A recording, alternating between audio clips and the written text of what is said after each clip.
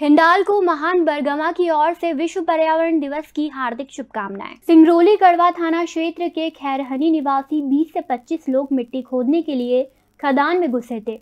उसी समय खदान धस गई, जिससे चार लोग खदान में फंस गए और दो लोगों की मौके पर ही मौत हो गई।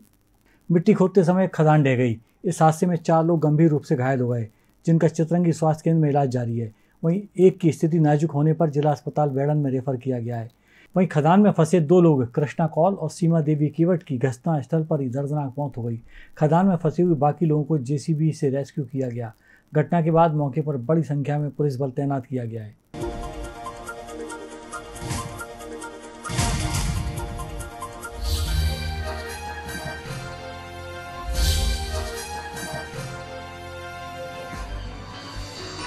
आप देख रहे हैं दखल न्यूज़।